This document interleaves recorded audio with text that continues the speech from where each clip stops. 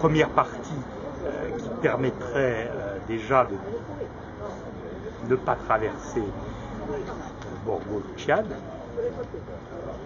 et une autre partie qui permettra euh, d'aller jusqu'à Vescovat. Si vous réunissez à ça ce qui est inscrit dans le schéma qui va commencer en 2013, à savoir la, dénivellation des cinq ronds-points de Couchette à y a cinq ronds-points dans lesquels on va déniveler, c'est-à-dire qu'on va passer par en dessous, elle qui passe par en dessous.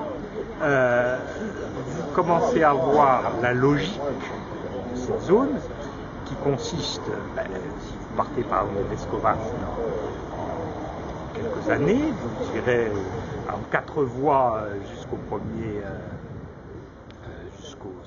Bastia, serez en continuité à quatre voies. Sera en quatre voies tout le temps. Les ronds-points les plus, embêtants seront des ronds-points dénivelés, car vous en dessous, et donc vous aurez une grande fluidité. Et pour une zone comme ici, qui est par exemple Bordeaux, un endroit extraordinairement dynamique, quand on se projette dans le temps, plutôt quand on se projette en arrière. Il y a 20 ans, ici, il y avait beaucoup moins de logements, beaucoup moins d'aménagements, beaucoup moins de tout ça. En 20 ans, comme Borgo a fait des travaux énormes d'aménagement, d'amélioration, de voirie intérieure, de logement. Tout à l'heure, on disait qu'il y a 1200 logements euh, qui vont encore, encore sortir. Donc on voit bien que tout a changé. Or, dans les 20 dernières années, la route n'a pas beaucoup changé.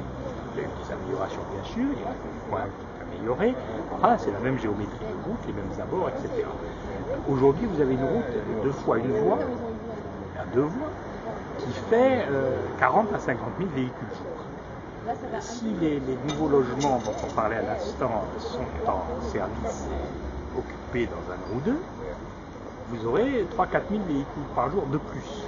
C'est-à-dire qu'on ne pourra plus passer du tout. Donc on voit bien qu'on s'inscrit dans l'urgence à la fois pour le transit des, personnes qui vont euh, de Bastia à plaine orientale essentiellement, l'axe principal de la Corse, mais aussi pour que la vie, la vie, l'urbanité au sens noble du mot dans des zones comme ici soit, soit meilleure.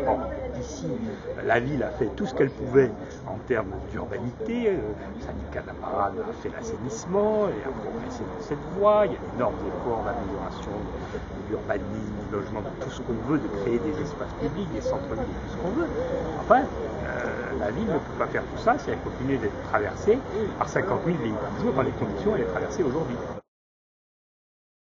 Alors, c'est pas que désengorger, alors bien sûr c'est désengorger, puis 50 000 véhicules jour sur deux fois une voie, c'est complètement impossible, mais c'est également avec la ville euh, et avec les villes, avec les agglomérations, euh, travailler à, changer euh, vraiment, globalement, la nature des choses. On a tous les éléments, il en reste un qui est en cours, qui est le train, sur lequel nous allons remettre sur les rails les AMG.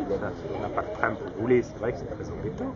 Euh, mais également, on parlait tout à l'heure des, projets, des études déjà faites, des projets, des débuts de réalisation d'ailleurs, de conduite centralisée de voie unique d'une part, et d'autre part de, doublement partiel de voies entre par exemple Casamotte et Bastia, qui permettront à terme d'arriver à un cadencement de l'ordre du quart d'heure. Rêvons pas, c'est pas, pas un RER, mais c'est quand même quelque chose qui est euh, un peu plus proche du métro que du train, en tout cas par la, rapidité, la cadence et le service rendu. Nous avons prévu un programme qui est un programme de 10 ans et qui est calé sur les capacités financières de la CTC et, des contributions qu'elle peut obtenir. C'est un programme réaliste, la Centre de Corse l'a adopté. Nous allons présenter en septembre à la présentation ce que l'on y déduit en termes de programmation. Alors, s'agissant des zones que vous dites, pour le moment, dans les dix prochaines années, on n'ira pas en quatre voies rapides distinctes de la voie existante au-delà de l'Escobar. Ça ne veut pas dire qu'on ne fera rien. Ça veut dire que pour la traversée de relais, il va faire un certain nombre de travaux qui permettront de faire un itinéraire bis. On va faire des travaux pour améliorer un certain nombre de ronds-points et de croisements qui sont encore défectueux. On a des projets euh, qui n'existent pas pour le moment, mais qu'on est en train d'étudier, de dessiner, de créneaux de dépassement, de, euh, voies secondaires, c'est-à-dire de, contre-allées, etc. Et on continue aussi euh, en mettant en place une étude puis des travaux, une petite déviation d'allée, de Gizonach, et beaucoup de travaux, bien sûr dans, le mois. extrêmement lourde en, circulation. Et euh, enfin, après, on débouchera sur euh, vos projets inscrits, la déviation de Saint-Lucie pour Vous voyez bien que c'est l'axe essentiel de la Corse. Et c'est parfois un axe qui, a été à la fois très regardé et parfois un, peu négligé. Alors, surtout qu'aujourd'hui, un certain nombre de travaux aboutissent. Euh, nous, on essaie de faire, on est là, cohérence à travers le schéma. On a clairement indiqué que c'était un axe prioritaire. Il y a beaucoup d'études qui manquent dans certains endroits. Il y en a au contraire qui étaient très avancées. Ici, moi j'ai tenu à accélérer au maximum euh, les travaux de cette voie rapide, parce que je crois que c'était absolument vital, pas pour la ville de Bordeaux, bien sûr pour la ville de Bordeaux, mais vital pour l'ensemble de la Corse, je dirais presque l'ensemble de la Corse, encore une fois, on est là dans des, des pratiques, des choses qui sont vraiment à l'échelle régionale euh, extrêmement importantes. J'ajoute que d'ailleurs c'est presque international, puisque vous savez bien, beaucoup de gens euh, utilisent ce tronçon pour aller d'Italie en Sardaigne, d'Italie continentale en Sardaigne. On est vraiment dans un itinéraire européen. Très très important. Il y a des années que je l'attends. Non seulement c'est important, mais c'est vital. Non seulement pour moi, mais tous ceux qui la traversent. Oui, qu'on traverse pour aller à Ajaccio, pour aller à Corté, pour aller partout, en pleine orientale. Donc pour moi c'est vital et je suis très fière et très contente de ce matin. Ah, je, vous arrête de suite. À Borgo, ils viennent quand même. Hein. À Borgo, on les reçoit. À Borgo, il fait bon vivre.